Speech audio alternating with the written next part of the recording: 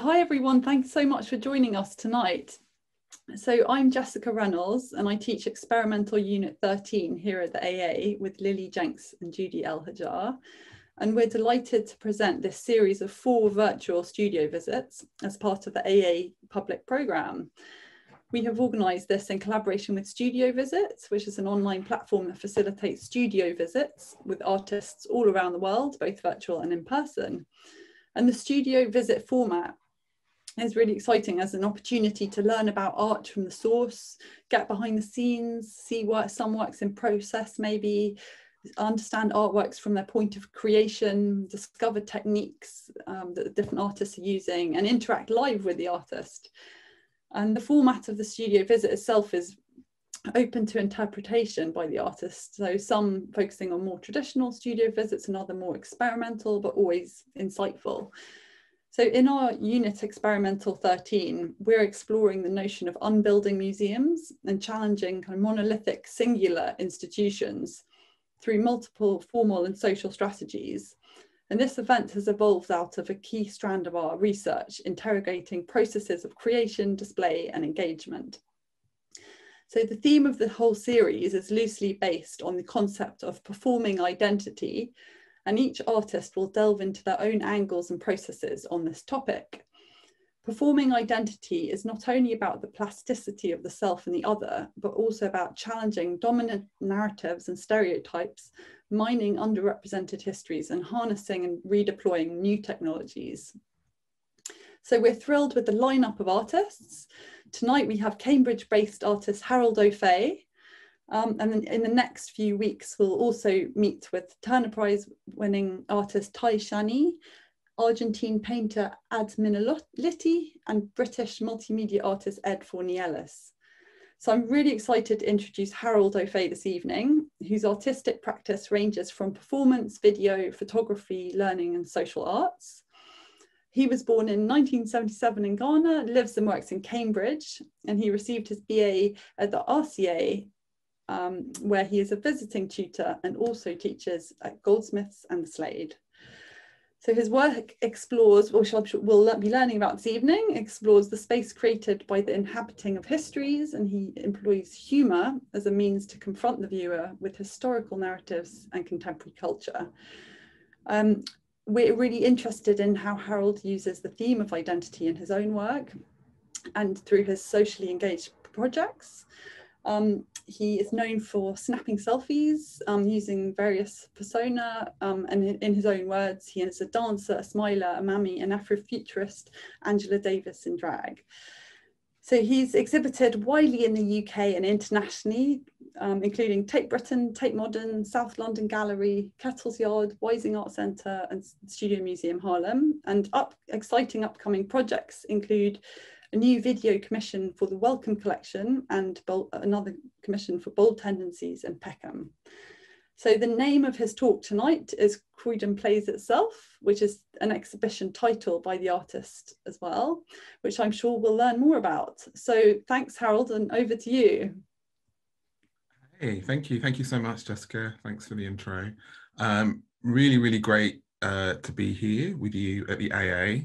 I wish I could be in in the AA, somewhere that I've been wanting to go to for a long time. But um, but anyway, uh, this is this is uh, yeah, just great to be here. Um, so yeah, as Jessica said, um, I will be talking about a specific project um, which I did in uh, God, is it 2000 beginning of 2019? Uh, dates this year has been so strange and weird that I don't even know where I am in the calendar, but um, uh, and it's a project I did with a, an amazing artist-run uh, project called Turf Projects, eh, which is in Croydon. But I'll I'll talk about that a bit. I'm aware that um, you know the this tonight's been sort of set up by uh, studio visits, and is the premise is my studio, and um, uh, I think by the lineup of people that you've got kind of coming up, I think that the, the sort of studio element is hopefully going to get a bit more glamorous. Certainly will be next week with Tai Shani, who's just really amazing, amazing artist, and um, I think has a really amazing studio.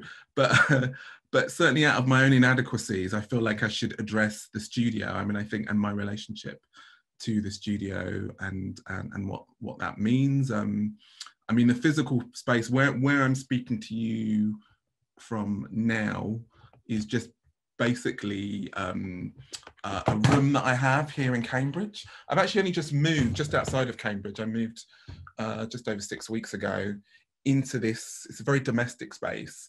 And uh, essentially I don't, my practice, I, I'm not a maker in the way that some other artists are, like in terms of thinking about kind of production and um, physically making things here. I mean, my practice is very sort of situational and site specific and performative.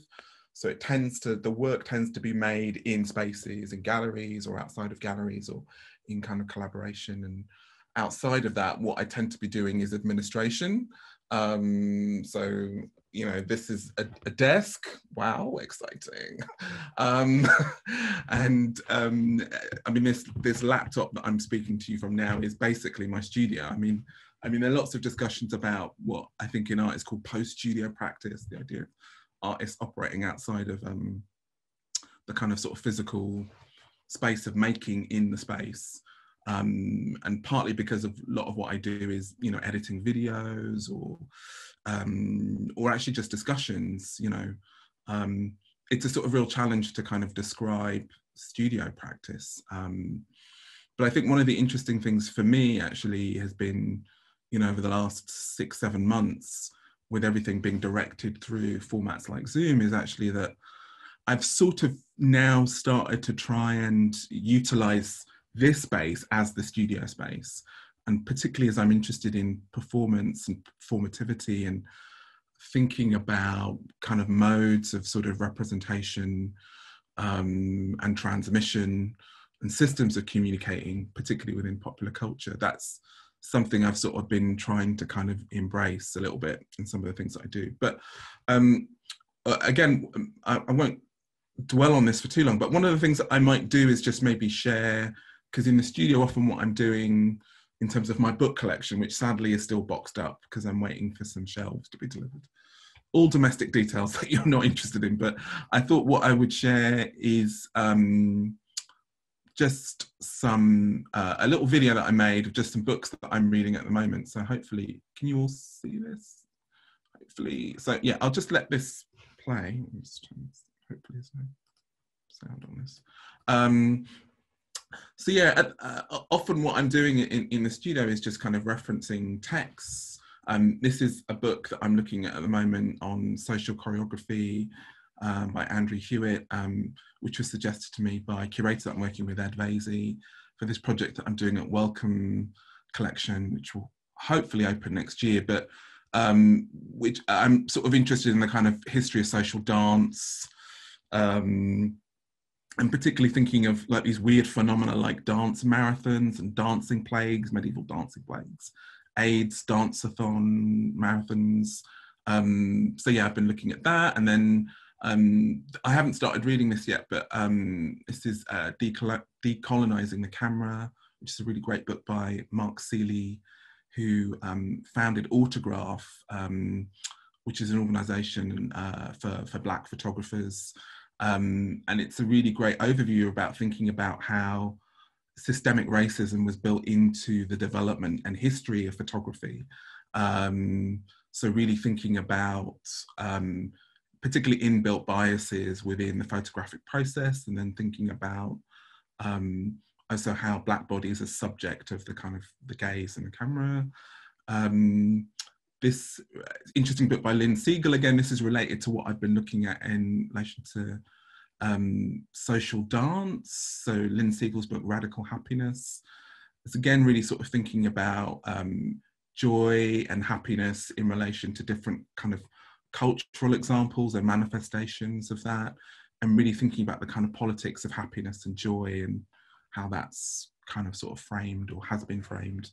Um, and has some really great kind of like um, specific examples through antiquity, through the contemporary.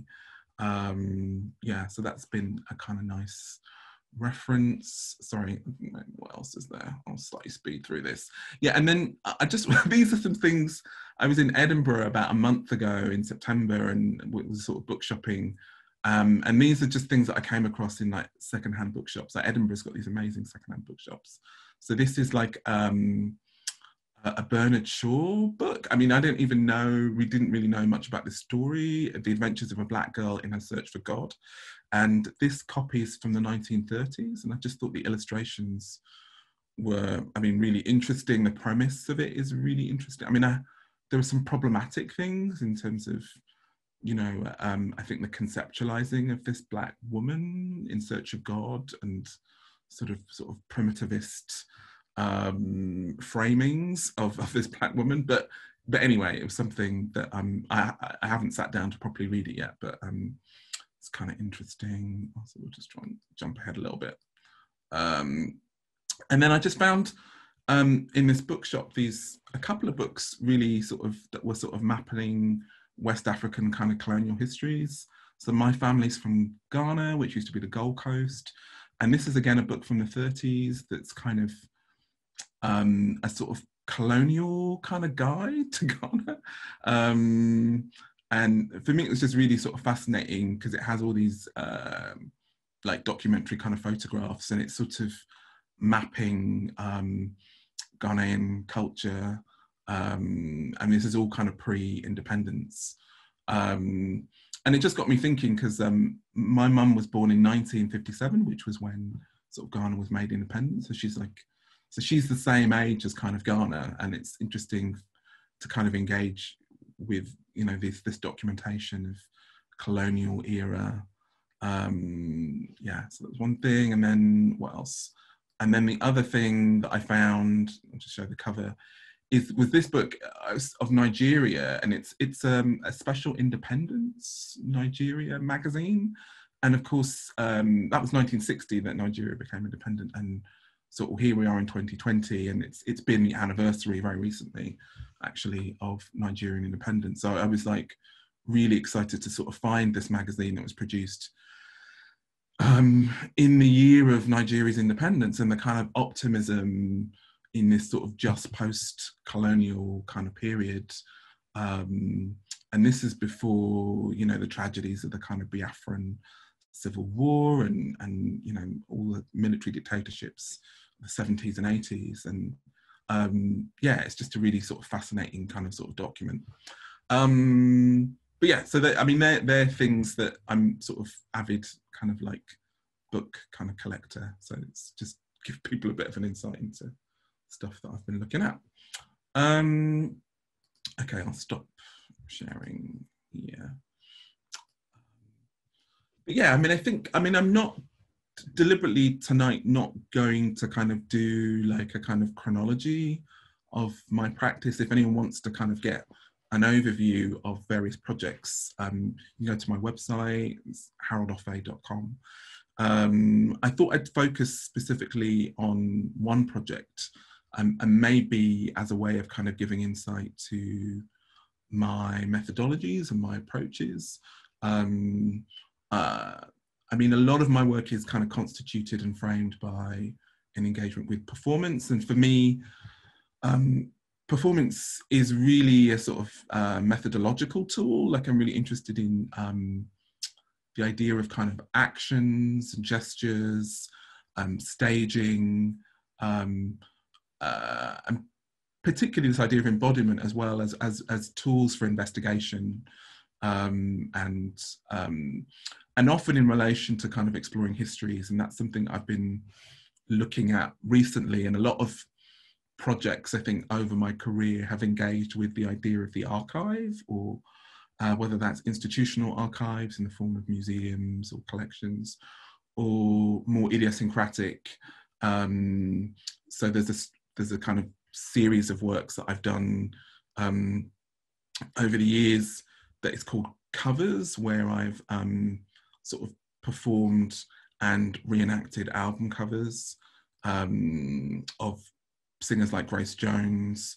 Um, and there's a, the more recent manifestation of that series is uh, performing album covers of singers from the 80s, uh, male soul singers. Um, so behind me, hopefully you can see um, Mr. Teddy Pendergrass um, in this lounging pose. Um, and I've been interested in this kind of trope of these black male singers from the 80s.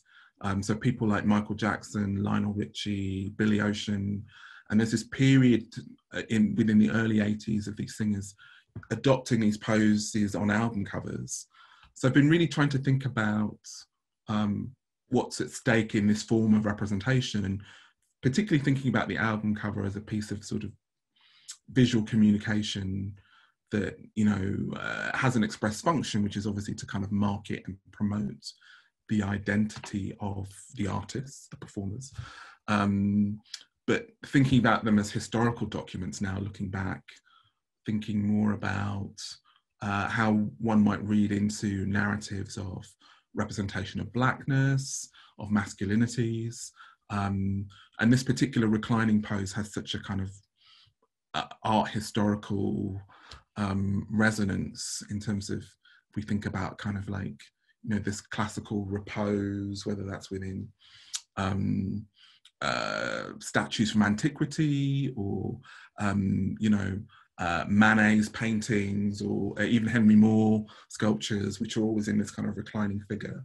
Um, so yeah, um, and for me, an essential part of doing that is by assuming the pose and really thinking through what does it mean to. Often, I think it's easy to kind of dismiss parodying or copying, um, but actually, I'm really interested in pedagogically, like what happens when you actually physically copy, and I think it's such a part of popular culture, like you know, particularly like on YouTube or on Instagram the kind of the remake, the recopy, you know, um, um, and the amount of work and observation and attention. I'm interested in what's at stake within that. Um, so, I mean, maybe what I'll do is, is I'll go into screen sharing again and pull up uh, the presentation. Oops. Um, hold on, let me get rid of this.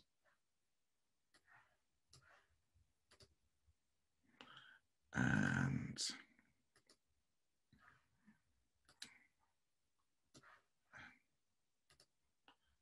so yeah i mean um, just a, a, little bit of a kind of sort of preamble really with um, this this project. Um, so the uh, the project was called uh, Croydon, Croydon Plays itself and I was invited by Turf Projects, which is, um, like I said, it's an artist-run space in Croydon was set up by a group of recent graduates, um, and it's currently housed in um, the Whitgift Shopping Centre um, in Croydon. I don't know if anyone from Croydon is listening. I mean, it'd be good to um, like make yourselves visible, make yourselves known.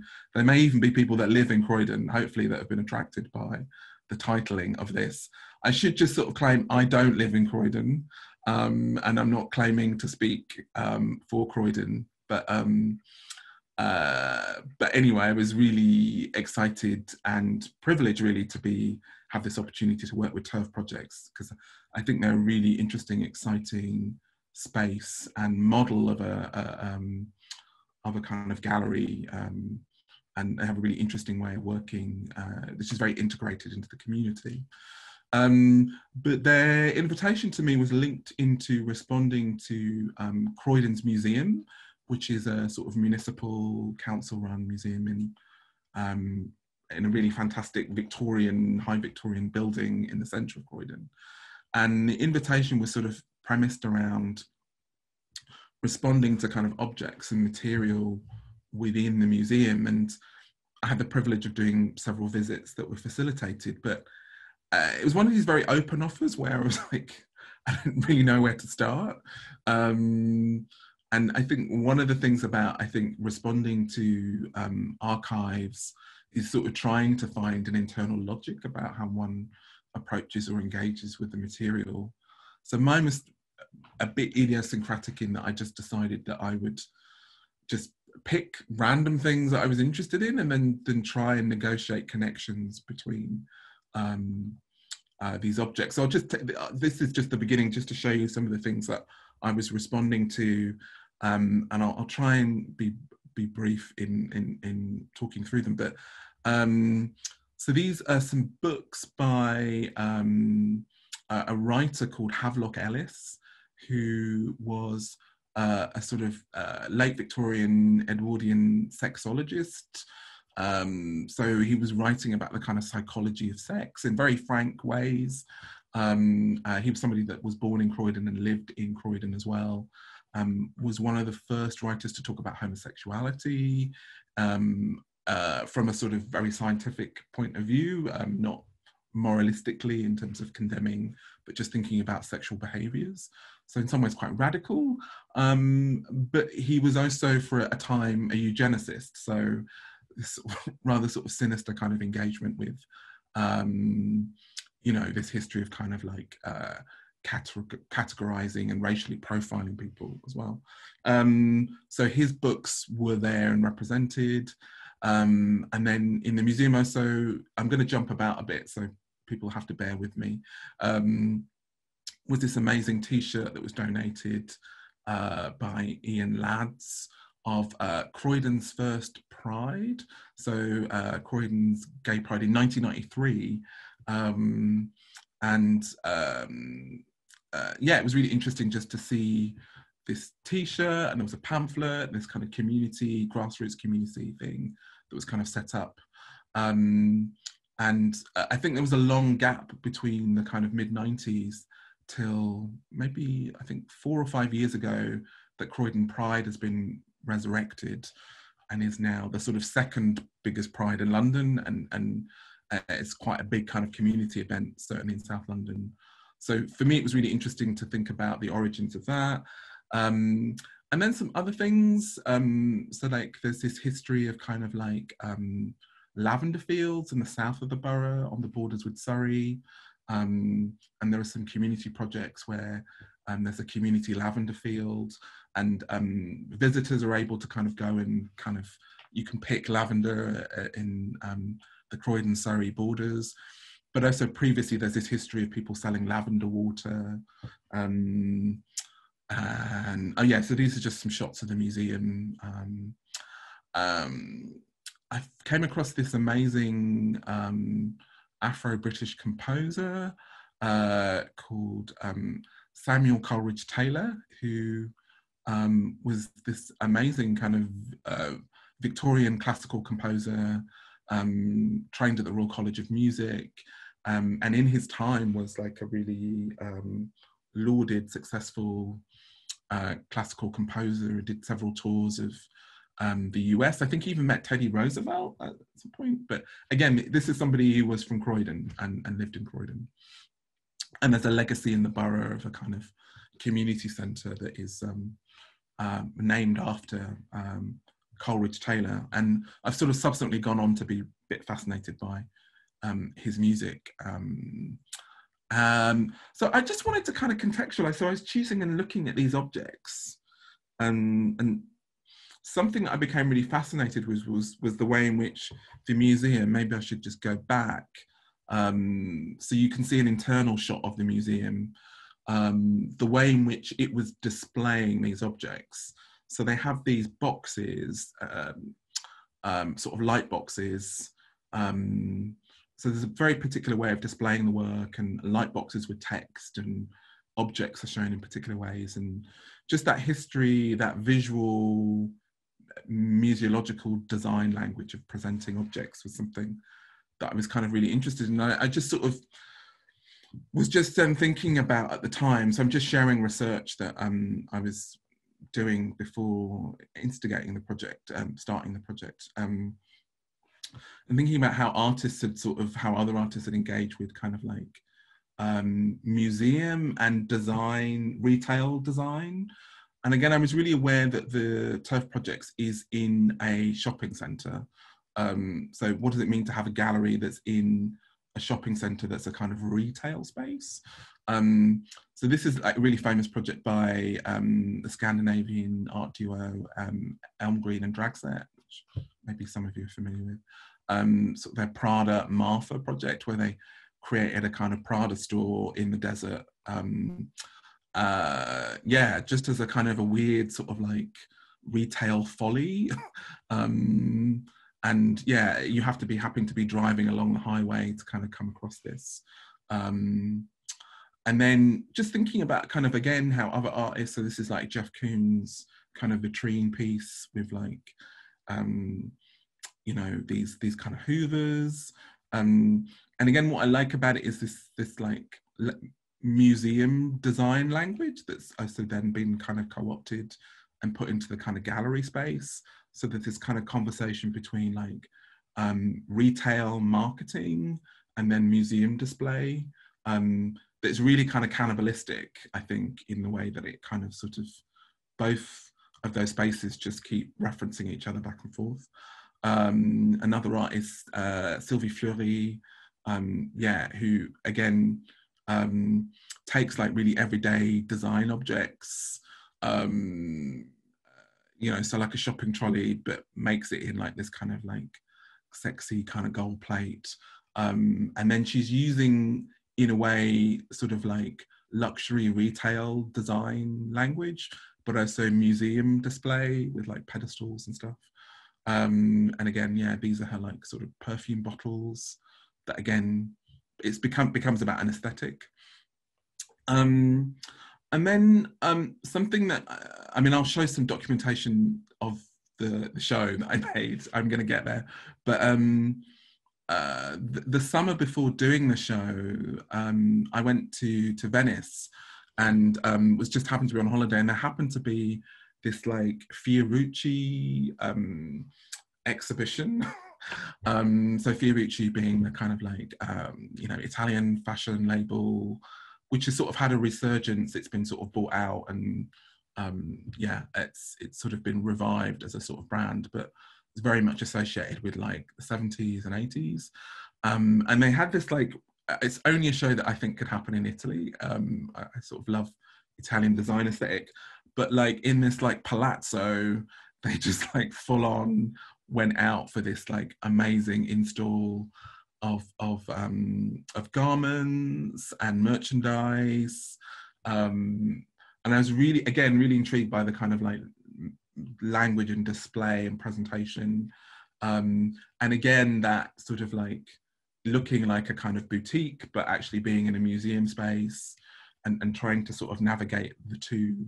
Um, so so really this I, am talking about this because this is really influenced basically i just ripped off or tried to rip off this whole aesthetic for the show that i did but um but yeah so just some images uh oh yeah just more museum display and again um i will come back to this but shopping channels are something i've been really interested as well in um so this turntable that you see here is something that i'm interested in in the way that um museum documentation happens. So they use these turntables to um, digitally photograph and video objects that are then maybe put up onto websites.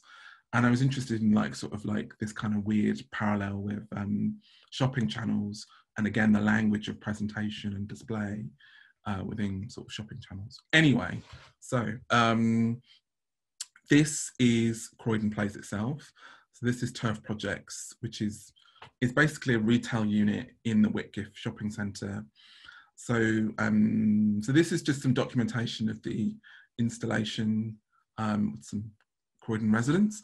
Um, and I, I was really explicitly very much interested in really thinking about this play to this audience um, um, and really thinking about the retail space. So hence kind of sort of borrowing a lot from um, you know the design aesthetics and retail aesthetics. Um, so within the space, I'm presenting um, either objects that reference things that I encountered in the museum. Um, so, and I was really interested as an outsider, someone not being from Croydon, really trying to think through um, me as a stranger navigating Croydon. And Croydon is somewhere, for those people that aren't familiar with uh, it as a kind of sort of suburb of South London, that you know is often a space that's decried as being ugly or boring, in the way that I think sort of um, suburban uh, um, places in relation to major cities often are thought of. as. Um, so I was really aware of kind of sort of coming into Croydon and then trying to really think about navigating the space and trying to think about thinking through these amazing histories of objects that I just found. Um, so um, uh, a, lot of the work that Izos has shown, I decided um, and was uh, thankfully facilitated by Turf Projects. I really wanted to kind of sort of um, speak to and work with um, people that lived and worked in Croydon. Um, and I'll talk to specific works in a bit, but um, um but this involved working with Croydon School of Art, which is a department of sort of Croydon College, which uh, which is the basically kind of it's the remnant of this kind of like long historical art school. Croydon School of Art has a long history going back to the 19th century. Um, and they have students from pretty much all over South London um, doing various arts courses and access courses and foundation courses. Um, so I did a few workshops um, with um, students um, and that was a way really of having this conversation about um, some of the things that I'd found uh, historical artifacts that spoke to Croydon, but also in a way engaging with their experience of contemporary Croydon. Um, so, um, so the show is kind of constituted um, by, you probably saw that turntable um, uh, that's in the middle of the show that's in the shop window and on it is mounted a video. Um, so that video is called Croydon Keeps Turning.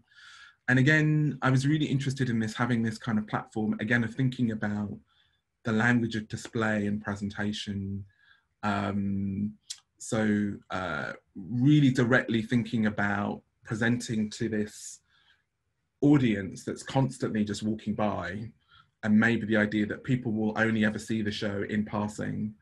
Um, but also really thinking about, again, the turntable being a system for presenting objects and looking at objects. And, um, but also it could be a platform for performance. Um, so um, this video is really interspersed between um, a workshop that I did where I was inviting the students from Croydon School of Art to perform and pose on, on the platform and then also presenting these objects in museums. So this is the kind of lavender. Um, and then in the museum, in the, not in the museum, in the gallery, um, I had a, a, lavender diffuser of lavender oil that we got from this community lavender project in the south of the borough. Um, so you can actually smell Croydon. And I was thinking about sensorially, what does Croydon smell like? What does Croydon taste like? Um, what does it look like? There's some, some slightly geeky historical things like Croydon, the, the name itself comes from the fact that in, med, in the medieval period, um, it was the center of uh, growing crocuses, um, and crocuses, uh, the plant, the flowers, you get saffron. So its wealth came from saffron. And there's even a square now that's called the Saffron Square. And a few years ago, there was a community project where they um, grew uh, crocuses in the center of Croydon um, as a way of speaking to this history, history. And sort of saffron even now is still quite an expensive um, uh, spice um, that's sort of traded. Um, so yeah, we ha- also have some of these um, these bulbs. Um, and then yeah, there are these performance interventions of me lounging. Again, I was interested in this idea of kind of like um, sort of like performing within the space. Um, and yeah, it's really nice that people are kind of just coming up and looking and kind of questioning. And it, for me, this was just a way of trying to kind of rupture this like thing of people passing through this kind of retail space kind of constantly.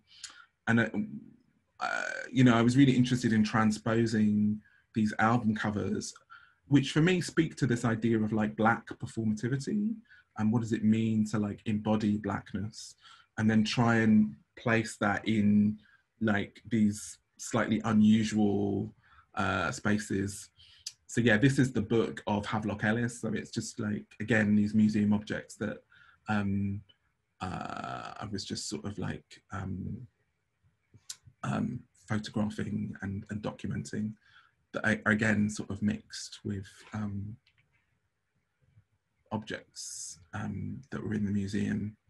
Um, maybe I'll keep going, um, go through some of these slides. Um, so maybe I'll talk through this project, um, which is, so in the Havelock Ellis book, so this is of the uh, late Victorian Edwardian sexologist, I was like sort of really thinking through him as this quite radical figure that lived in Croydon. Um, and one of the books I came across was his uh, an early study of his that looked at um, history of kind of criminology um, and linked to his interest in um, eugenicism um, and eugenics um, was this really haunting image. Um, I mean, it's you can sort of see it if I just I don't know if you can see my cursor here, but there's a sort of photocopy of it here. There's this kind of image of a prisoner um, uh, in a New York prison um, who's being documented. And I think just to kind of slightly preface this, in the sort of late 19th century, mid 19th century, photography and eugenics were kind of closely linked. There was a belief in, um, you know, photographing and mapping in order to find kind of criminal types or racial types that could be categorized. Um, so a kind of pseudoscience that came out of um, a, a, kind of investigation and use of photography. And so in this kind of prison from in upstate New York, the, the prison have created this like weird mirror that um, allows the prisoner to be photographed from various angles. So within the one photograph, you can see in profile, you can see above. So it's a way of surveying and profiling prisoners. Um, so one of the things that I did was to kind of recreate this mirror, which I call the Havelock mirror, just because um, Havelock Ellis is referencing it. Um, and it becomes an object that's in the space that people, that visitors can kind of engage with. Um, and I was sort of really interested in how this quite sinister object, in a way, had really also retail parallels because I was thinking about like changing rooms in like uh, you know like Topshop or Topman where you know you can go in and there are these mirrors that allow you to see the items that you but it's another way of surveying your body and it's another way of seeing these multiple angles. Um, so uh, I, I, did this kind of again as part of the whole kind of posing workshop where I was inviting the students from Croydon School of Art. Um, we had this photographic session where we were posing in this contraption and really thinking about um, uh, how uh, uh, how we were kind of engaging with this historical sort of um, uh, artifact that we'd remade. Um, so yeah, these are kind of photographs in a way are sort of kind of documenting documenting that. Um, so yeah, this is saffron that we were giving people to, to take anyway, this is a way of telling that that link to kind of Croydon. I'll come back to this, but um, sorry, let me go through some things. Um, and then some other elements. This is, um, again, that t-shirt that was in um, the museum from Croydon's first Pride in 1993. Um, we, with uh, sort of permission from the museum, we reissued it um, so we remade, um, took the design and remade the t-shirt and we were selling it as a way of raising money for that year's Croydon Pride. So it was a kind of way of really sort of speaking to the kind of history, the historical pride, this first pride in 1993 and the community activism that led to the development of that. And then this uh, revived Croydon Pride. Um, so yeah, as a way of kind of linking those two moments in history. Um, and then other things we did um, at the um, the youth centre that was named after um, uh, Samuel Coleridge Taylor, um, a sort of Afro-British, Black British com classical composer. Uh, so this youth centre is named after him. We did um, a sound workshop actually. So again, it was thinking about what Croydon sounds like. So so we did a series of kind of like um, uh, sessions with the young people there um, and sort of created this kind of vocal soundtrack and that was also incorporated kind of like sound walks from different parts of kind of Croydon. So that soundtrack was kind of sort of punctuating the space. Um, yeah, I mean, I think um, uh, these prints are kind of um, risograph prints that again were made with a different class at Croydon School of Art. Um, and again, I was really interested in a lot of the museum conversation was looking back um, so with this, um, I don't know if people know what a risograph machine is. It's kind of sort of Japanese like photocopier that allows you to print like multiple layers of color. I mean, it's um, yeah, it's it's quite exciting process as well. You can use collage and text and drawing and incorporate that. But um, so I asked um, in this workshop, we had a conversation about thinking about the future of Croydon and really thinking about people's experiences of Croydon now. So um, yeah, this came out of a workshop session, so those were kind of displayed. Um, and then um, uh, this is a video that was presented in the space. Um, so the title Croydon Plays Itself um, was something I wanted to kind of speak to really was the fact that sort of Croydon has this um, role within film history. It's often used, or it has been used in lots of Hollywood films, um, but it's used as a location because it can be turned into other places. So this film that you can see now is was shot in Croydon, this scene, but it's for a film uh, where Croydon has been made to look like Istanbul. Um, and there, there are various instances of this. So um, it's in uh, Croydon is, is used in one of the Batman films, so it becomes Gotham City. There's another film where it becomes New York, um, and um, uh, um, I was sort of really interested in a slight anecdote, but um, uh, the year before doing this project, I'd been in Toronto, which is another city that is used constantly for film locations. Um, and um, I was speaking to someone who was saying, well, basically, Toronto is used because it's very generic and it's boring and it sort of doesn't really have a very clear, it just looks like an average North American city. Um, but um, uh, filmmakers like to, to, to quote, to, to, to, put Toronto in drag. Um, so it's like, I was really interested in this idea of a place being in drag. So uh, whenever it's used, it's always being made up to look like somewhere else and and Croydon's very similar to this, you know, and um, the borough council has a really good film unit, and they really promote themselves in the fact that you know, come to Croydon, you can you can you can make Croydon look like anywhere you want it to be, you know. Um, so um, for me, I just kind of thought um, um, it'd be really interesting to have like this one example of where um, Croydon plays itself by revealing these histories and narratives about Croydon. So that hence, um, uh, yeah, hence hence the title. Um, and also there's a there's a really amazing film called LA Plays Itself, which some people might know, is, made up of kind of like um, classic Hollywood films set in Los Angeles that tell narratives about Los Angeles. Um, anyway, so um, yeah, so this is it kind of installed. Yeah, this is Brazil, the Terry Gilliam film. So um, yeah, they, there's a power station in Croydon that was used in that in that film. So it plays a dystopian future um, in that in that film. Um, yeah. So oh yeah, sorry, I hadn't showed. Let me show. Yeah, this this was the detail of the Havelock mirror. So yeah, that original Victorian kind of contraption and then um, the kind of sort of remake that we did um, as a way of kind of speaking to that history.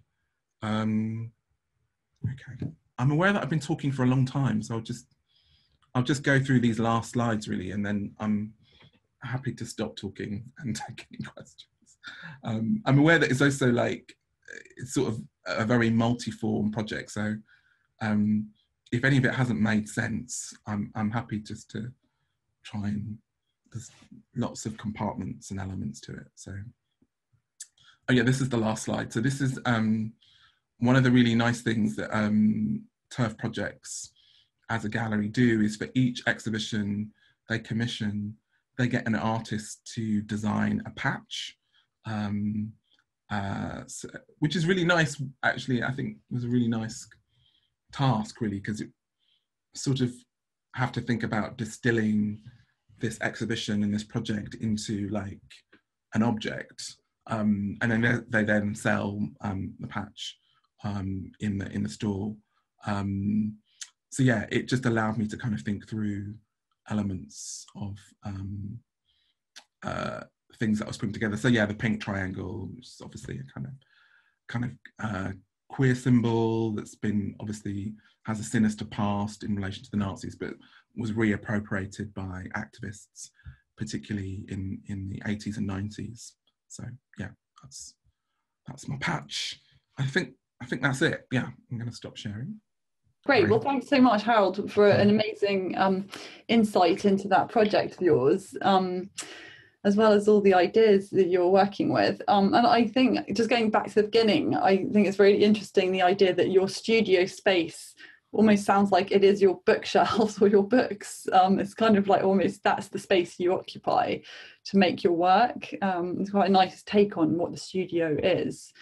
Um, and um, yeah yeah so so does that I, I wonder if sort of that that the books kind of travel with you studio to studio. You probably had lots of different studios and that's kind of um, a growing like consistent element. Um, but maybe that's a kind of small question. And then um, I, am also interested in um, in well i mean the brief itself of this of the croydon plays itself project is so amazing so amazing to be working with museum and these objects and then interpreting them and um, uh, you know, I think it's so interesting where you're working with these um, really kind of political and um, kind of quite in, um, very intense themes, like whether it's criminology or um, or, or, all the different issues you're dealing with. Um, and so you sort of add this layer of humor and reinterpretation. Um,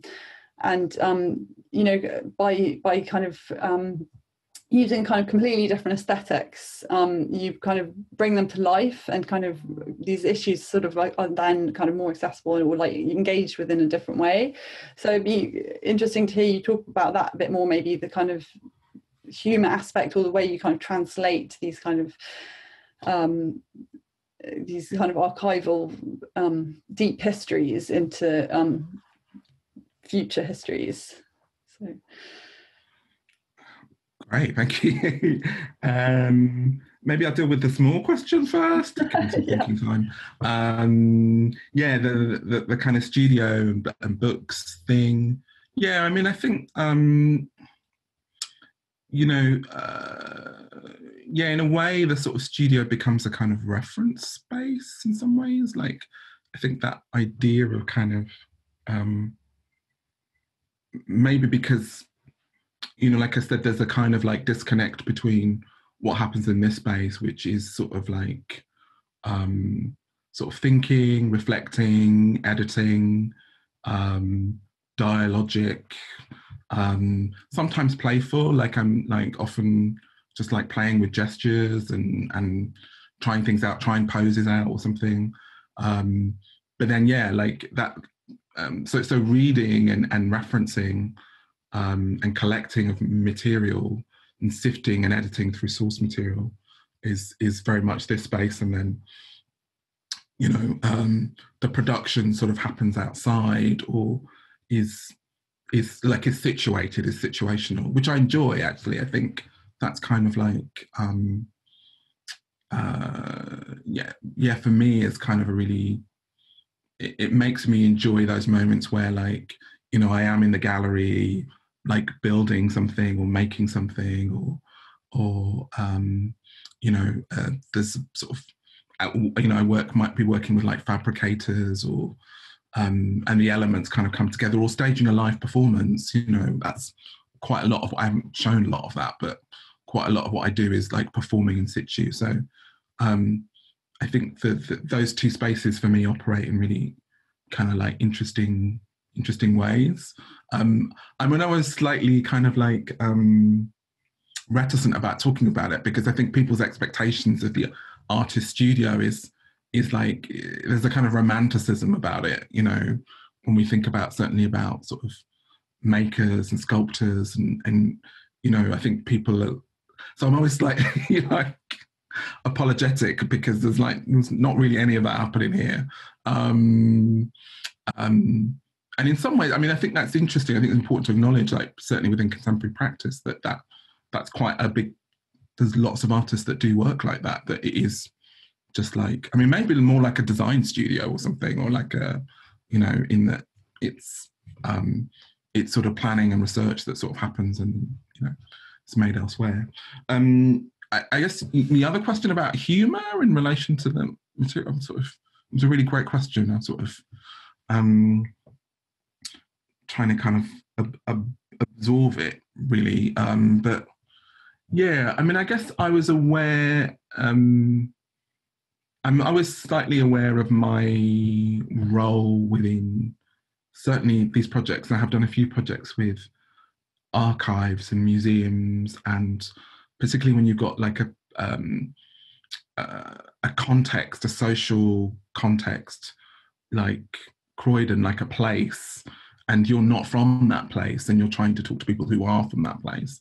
That there's a kind of tension there in that immediately I'm this outsider, and people are like, well, so how are you gonna? You're not from here. How are you gonna represent? You know, um, uh, how are you gonna represent this place? You know, um, and I, so what I was sort of explicitly sort of trying to do is try and be as transparent as possible, actually, and trying to use the fact that I'm not from there and that I don't know. In a way, I'm sort of like a kind of sort of idiot outsider. I call it the kind of Louis Theroux strategy, where you're sort of like that sort of naive kind of visitor to kind of like what's what's this and a bit, but I mean, hopefully more genuinely than, than that. But but I just mean that strategy for me is about allowing people to kind of recognize their own knowledge and their own um, sense of agency in terms of you know like yeah you have all this like i don't know tell me like you've had the you've got these experiences of this place you know? Um and so i'm really invested in sort of trying to kind of draw that out. And um it's also important because i think often as an artist when you come to these things people immediately feel like well you're the artist you should know. And it's like actually I don't know. Um, you know, and I mean Croydon has a really special place for me in that it's where I mean I haven't I didn't really find a place for this in the work, but it's where I became a British citizen because you know Croydon has a sort of passport office and um, as a sort of naturalized, I was born in Ghana and sort of grew up, went to school in the UK, but when I was 18, I, I sort of I became naturalized and I could get citizenship. So I had to go down to Croydon to do that. And um, this was before all the kind of crazy like British citizenship tests and stuff. All I had to do was like um, pledge an allegiance to the Queen. um, but all of that happened in Croydon. So for me, like my sense of like Britishness is Croydon because it happened in like a sort of 60s tower block with like you know, a slightly bored middle-aged man standing in front of a portrait of Her Majesty, you know. So, um, so, so for me, Croydon is like, and it was a really, really exciting thing to do as an 18-year-old. It was like, but, um, so yeah, I have this kind of affinity with Croydon that I was really excited when I got the invitation to kind of do it. And the humour, sorry, I haven't addressed the humour thing. I guess for me, it's just a really. Uh, again, really thinking about how do you kind of engage audiences with some of this material and really trying to think about the absurdities and contradictions that are in, in, inherent within it. Um, and sort of, um, I mean, particularly going with a kind of retail offer. I mean, I wish I had the real budget to go full Fiorucci on that space. Um, in a way, it was a kind of slightly modest attempt at that. But um, but again, I was really wanting to kind of draw attention to the ridiculousness, you know. So hence, like lounging on a revolving turntable in a Croydon shop window, you know. I just I was like, what am I going to do to get people to stop? Because like you know, because you know they're going to like Wilkinsons or Tesco's or like Peacocks or wherever. To you know, um, you know, there's a H and M. All the kids are always going there. Like I want them to stop. So um, I think yeah, there was an, an explicit sort of attention seeking that I think it being a retail unit and not just a normal gallery, like allowed me to kind of play to those sensibilities. Um, yeah, I think you definitely got people to stop. So yeah, definitely, not for long though. They eventually they just. Um, so I think um, if anyone wants to ask a question, I think you can raise your hand. Um, I think um, Lily, did you have a question or, or manager? Yeah. Um, no, there's a question that's come through in the chat um, that uh, says that uh, there's an audience member who's really interested in your research into displays and would like to hear more on how you see the interplay between art and retail and um, which I guess is like a nice uh, segue from what you were just talking about about not having it in a, not having your show in a gallery but in a shopfront. Um, and they've also asked if you took into account what artists like Oldenburg did, and if so, do these art history narratives have any influence on your work? Oh my god, I'm getting the proper AA questions now. This is scary. um, uh, yeah, um, I mean, I think that, you know for me, like I said, I think when I was sorry, maybe boring everyone at the beginning before just showing the work with the the artist that I was looking at, I think yeah, it's just it's been interesting. I think this kind of like visual language and conversation between like museum display and exhibition display and commercial gallery display and the imperatives behind that? Like what's at stake in presenting an artist's work curatorially, um, aesthetically, thinking about um, the values of communication that come through, um, and um, you know, that yeah, the specific kind of language of that, trying to kind of speak to an object and explain what an object is, um, and how I think that that becomes sort of has become sort of fetishized a bit, and then was uh, you know elements of that are sort of appropriated within kind of retail display. Obviously the imperative is to sell this object to market this object.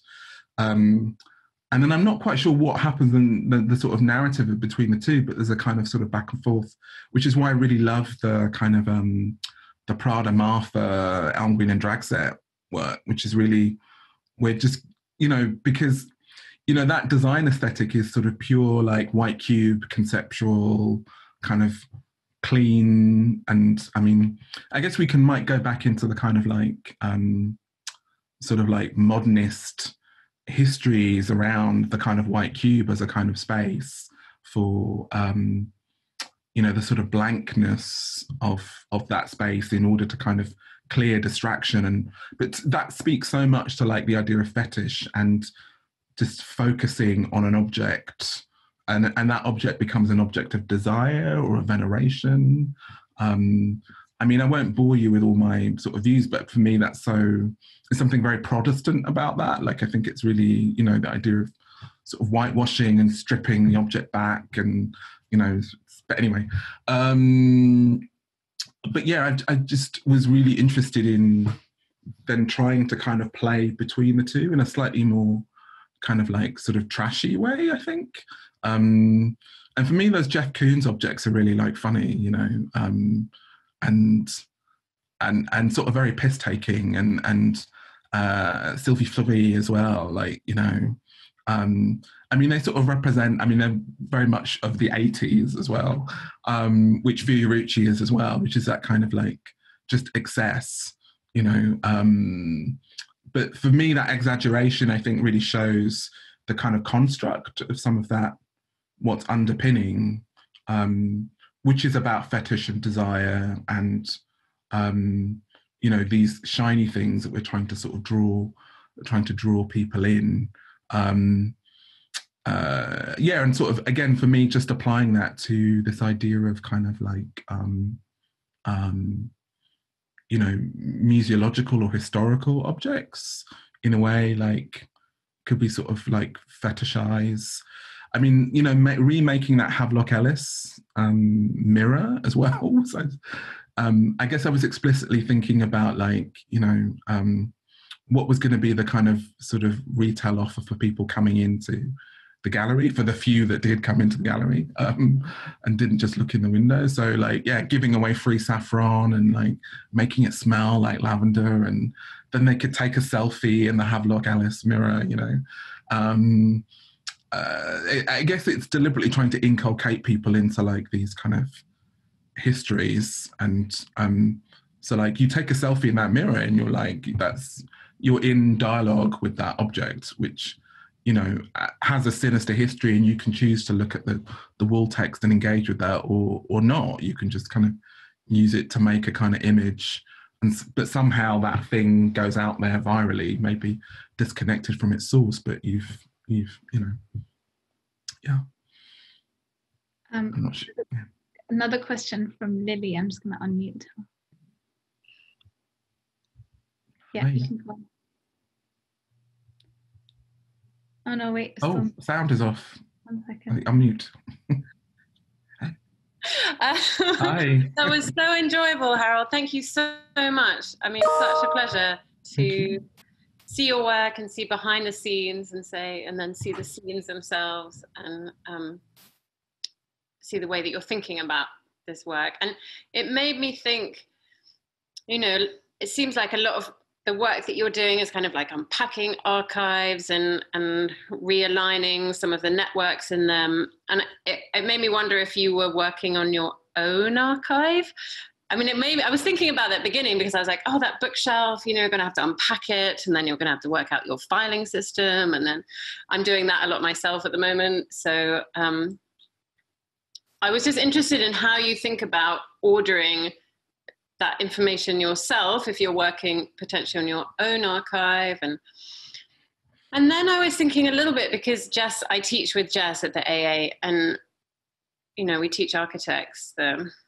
the things that they need to learn this year, right? And so we are building a kind of archive ourselves in a kind of hierarchy of knowledge. And as Jess said at the beginning, we're looking at unbuilding the Museum of Natural History Mm-hmm. and thinking about ways to unpack that natural his, that natural his, the natural history museum as an archive and how we could unbuild it distribute it repackage it mm-hmm.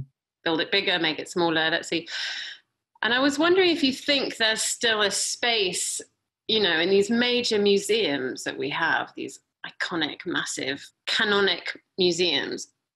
Like if you feel there's much space for them, I feel like at the moment they're so problematic and that's good and they're being really worked on and kind of exercised. And how, if you have any thoughts about kind of the future of those bigger museums, like, you know, that it's like the inverse of the turf space, you know? Mm. We keep having to unpack them. Maybe it's just like a constant process, like a constant job. We keep having to, to work on them. I just wondered if you thought that they had. Uh, a place that was important still or, or, i don't know if you think about them a bit sorry yeah. that's quite a big question but no that's no, really thank, no, thank you. Yeah. Um, moment, yeah no thank you um, yeah i mean i guess the first part was my own archive which is kind of like a sort of it's a mess and um uh, but it's something i have been starting to kind of negotiate really in terms of having just moved i mean it forces you to kind of do that you're right um but so yeah, I recently redesigned my website as well, and that that was forcing me to sort out um, sifting through really, and really beginning to think about these structures of categorization and thinking about um, a way of kind of sort of mapping processes and methods and thinking as well, and and trying to trying to make that a bit more kind of kind of creative. I mean, I haven't sort of resolved that a bit as well, and um, um, I have sort of got vague plans um, to build like a sort of a dream studio in the garden, which will kind of like, I, I think, hopefully like facilitate um, me thinking about a relationship to some of these things and um, and maybe try and bit more playful. And I think that's something I'm interested in in your other question, which is about the kind of institutional sort of spaces and museums and sort of structures. Um, that yeah, obviously is still really sort of problematic, and particularly in relation to kind of colonial narratives and sort of manifestly problematic forms of collection, which are about still about domination and uh, ownership and um, operate in often very um, kind of linear forms as well. Like, um, I think often as an artist, kind of entering these spaces, I feel like feel like I'm sometimes a fly in the ointment, really, because um, like I know one of the things that often really drives like archivists sort of mad is like you know because they're often these systems um, and uh, you know so you're meant to kind of like bring all your references and then submit those. And i just love browsing and it's amazing i mean it's a bit like maybe it's a sort of like psychogeography guy debord détournement kind of thing of just like browsing through the archive and it's amazing how you just fuck up the kind of like you know, excuse my language um just sort of mess up the like the kind of structure of just literally and that's one of the things I really love doing is just browsing and now just you know I guess being a sort of flaneur in these archives or trying to be as much as you can.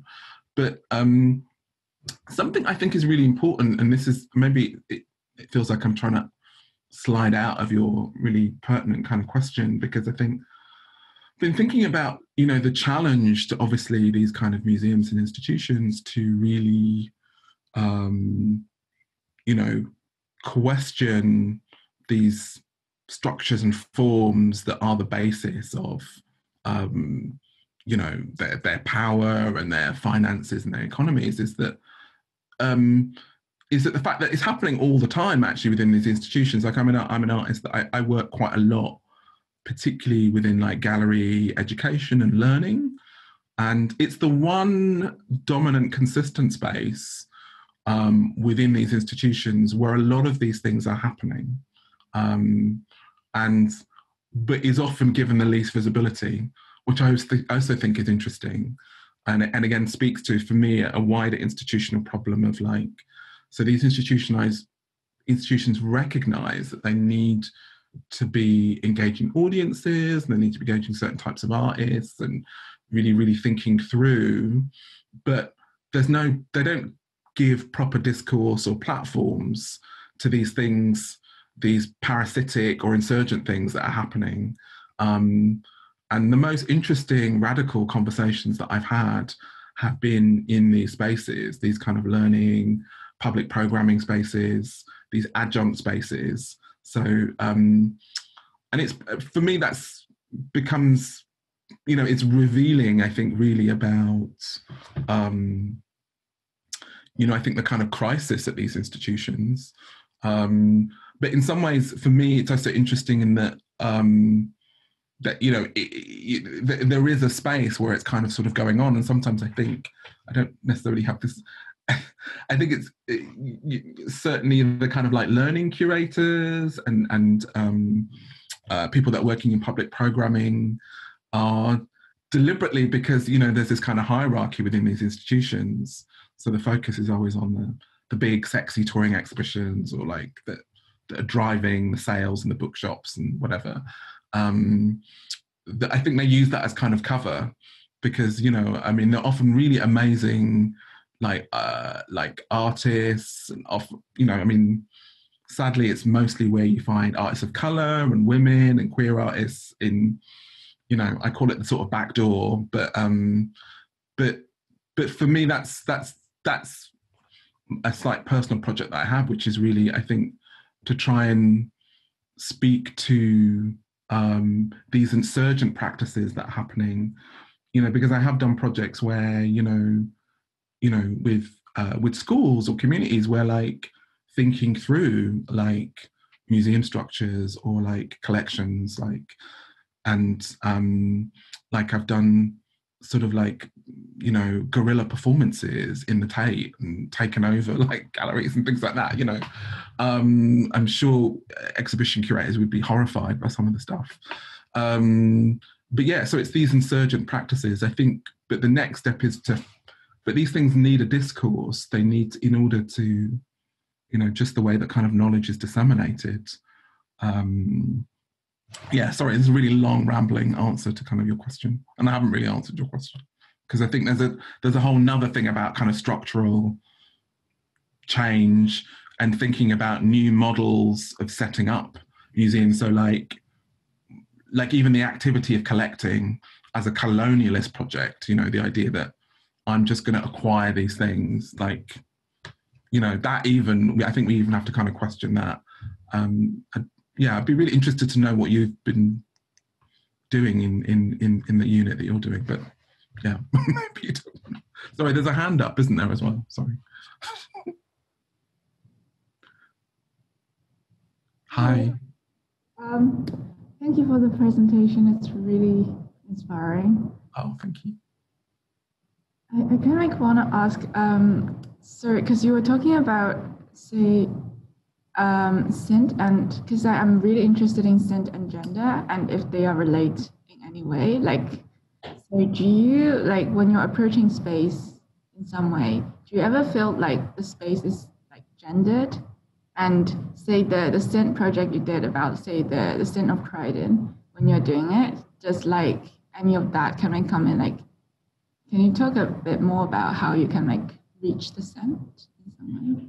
Oh God, that's another tough AA question. Um, mm, scent and gender. Um, yeah, I mean, I mean, I think in a way, uh, in in the Croydon Plays itself project, I really just sort of touched on um, the idea of the the kind of scent um, as a sort of personification or a way of articulating or speaking to a sensorial experience of a place. Mm-hmm. And um, uh,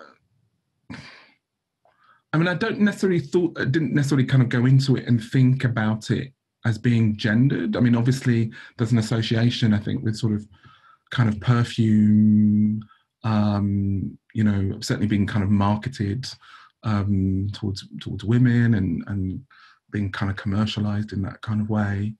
Um, uh, so yeah, I, I, wasn't strictly thinking about it in, the, in as a kind of uh, as a narrative around a sort of uh, a gendered reading, really, of, of of of Croydon through that. But I think you can. I mean, it's a good way of of, of definitely sort of thinking through that. But I guess my um, impetus was really thinking more about this kind of sensorial and, and trying to kind of cut through in a sort of more playful way um, an experience of place that is is maybe framed as much by you know smell and taste and um, and sound and I don't know. I mean, there's kind of um, uh, sort of I'm sliding out of this question now, I'm dodging it. But uh, sort of a few no, in in the early 2000s, I did a residency in Brazil, um, in um, in Rio de Janeiro, and it was really interesting to kind of just like engage with like the history of um, sort of artistic practices, like in Brazil, and, and certain artists and mid-century artists and movements like Tropicalia, um, which I, I, probably shouldn't launch into talking about now, but um, allow people to kind of explore on their own. But um, but anyway, certainly this modernist Brazilian project by uh, artists where they in Brazil where they were trying to kind of find a language really that spoke to the experience of the cliched idea of living in the tropics but also engage with modernist narratives. And part of that was the sensorial. So they were kind of playing with the idea of the kind of like touch being a really important part of like Brazilian modernism, you know, would like um so these artists would create experiences or happenings or um the idea of um there's a brilliant artist called Lygia Clark um uh who creates these like suits and these masks where um you wear you'd wear them in the gallery and she'd put spices or senses um, so it's this idea you explore the space or another artist Hélio Oiticica um, I mean there I think there are still works in the Tate Tate Modern hopefully I mean um, you know, where you explore a space barefoot. Um, you know, uh, so I think that that's something I'm I've been trying to kind of think through for a while, and and maybe there's a slightly I mean, there's a thing about kind of like European modernism that's very, um, again, maybe I'm generalizing here, but it sort of privileges the visual so much, mm-hmm. you know, in a sort of, and maybe that's something to do with like a kind of uh, about a rationality or or ordering that sense of the kind of um, the visual aesthetics of everything. Whereas what I really liked about this kind of um, sort of Brazilian modernism was thinking through the more sensory and sensuous, and yeah, um, and actually there's quite a lot of, uh, of, of women artists as well that are sort of really driving forces in that in those in those movements. But but yeah, sorry. thank you. Um, I actually have a question. Um, that uh, I really loved your talk. I thought it was amazing how you were able to kind of uh, I guess, incorporate identity through the individual, the kind of group, um, or the community, as well as of an entire place. Um, and I loved how you also talked about um, cities or places being in drag. And uh, actually, the Canadian Pavilion at the next Venice Architecture Biennale, whenever it happens, um, is about imposter cities, and it's really looking at Toronto as being this place that's in loads of films. Oh, um. So maybe maybe you have to do a whole pavilion about Croydon. Um, but I was just curious as to like in kind of personifying the city or trying to capture the identity of a place. Like how do you? It's so complex because in a way it incorporates all the people, the objects, the groups. And when you were talking about, um, I guess, what does it mean to embody blackness? I was curious as to like how did you find a way to embody place? And um, the second part of my question would probably be um, I don't know, there was something really interesting in moving, um, in kind of having your show in a shop front and the kind of who the barriers of accessing a museum, like who doesn't feel like they can go to a museum and experience art or culture, and how by moving that context to like a less precious moving it to a less precious context of a shop front does it suddenly make art and the experience more accessible um, to people that don't feel like they can experience museums. Um, yeah, so embodying place was the kind of yeah. That's a really um,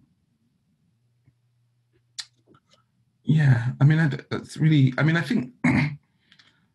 I guess the, the, for me, the embodying blackness thing has been thinking through um, these images as reference within popular culture, and really by trying to embody those, think through the situations and, and strategies or tactics that had, um, that had led artists to be kind of like um, uh, it led artists to negotiate the presentation of their identity.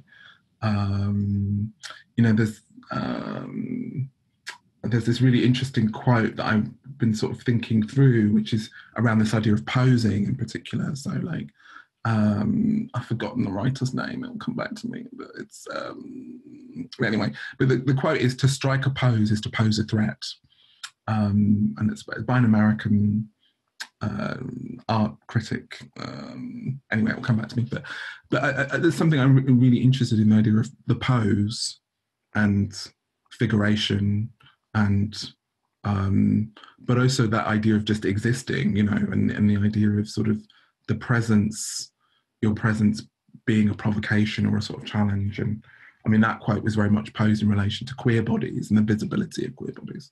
Um, but I think it can be applied to kind of other other bodies as well that um, are either sort of marginalized or attacked or rendered invisible. Um, and I guess there's a kind of me, maybe within that project there was a similar approach to thinking about kind of Croydon and um, in, in, certainly trying to kind of embody these histories um, and um, trying to kind of occupy space and be visible within the space. Um, um hopefully, I'm not necessarily kind of claiming, you know, but um, for me, I think these interventions were about trying to um, engender a kind of like um, reflectiveness about Croydon as a, as a as a place, allowing people to think through or reflect on it, like the fact that you know it isn't maybe just this kind of '60s what people call ugly kind of brutalist environment, but you know it has a history of kind of like you know eugenics and sexologists and and classical composers, and it has this rich interior kind of cultural life that is has somehow squeezed out of the narrative um, for whatever reason. Um, so yeah, um, and then I've forgotten the other part of the question, which was ooh, oh, just about by changing the context of where you show work. Does it oh, mean yeah. that other people have access to it who maybe don't feel as welcome to kind of go to museum or gallery? Yeah, I mean, I think for me that's you know one of the I think um, key things that I've been interested in as an artist working with performance is is the kind of um, mutability or the chameleon-like nature of that, and and and the fact that I've I'm really excited about working in multiple contexts and the idea that you know I mean I enjoy working in kind of galleries, but actually I find exhibition making quite exposing. um, um, I mean, someone like Tai Shani, you'll have next next week, is she's just an amazing exhibition maker. Like, I mean, uh, her installations and her awareness and you know objects and performance and and video and sound and and and that. I mean, she inhabits that space really really well. Um, but but for me, I think my main driver is audience. I think I, I, I say the one material that performance has because it doesn't have. It's not like other mediums. It doesn't you're not working with a specific materiality, but if it does, it's audience. I mean, performance is always concerned with audience. So I always then think about the encounter with the audience and where is that situated and how am I, what is the, who's, how is the audience constituted? How am I framing the audience? And um, so it's always been important for me to kind of do performance on the street, do performances in clubs, um, do cabaret, do drag, do you know, do it in community centres, do it in schools, um, and the, the, practice happens in all those spaces. You know, um, teaching in an art school, it, that that performance is also happening there, um, and the, so yeah, but particularly, I mean, I'm so so excited about turf projects because it it's very unusual, I think, to have you know that footfall you know um you know then i have to i mean there is a thing about people crossing the threshold but i mean that's why i was so obsessed with like just messing around with the window and being um but but the proximity i think just to people who don't necessarily engage with crossing that cultural threshold and being visible within that. And um I, in, in some ways my one regret was not doing more because there were there were you know they, uh, Turf have a really good relationship with the um, shopping centre managers. Um, I mean, it's a shopping centre that's under threat. I mean, it's for years they've been threatening to knock it down and build um, a Westfield shopping centre. I think that's what they're meant to be building there at some point. Maybe it's happened already. I don't know, but um, but there's a kind of openness. There was an opportunity, and I wish I'd done more. You know, in in in the shopping centre. But yeah.